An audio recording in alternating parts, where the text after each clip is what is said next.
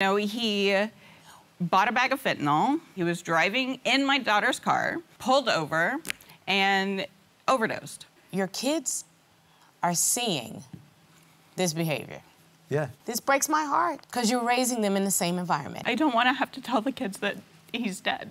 I couldn't imagine having to tell them that he's gone. Part of getting sober is Being tough love. her. Tough love. Tough love, sure.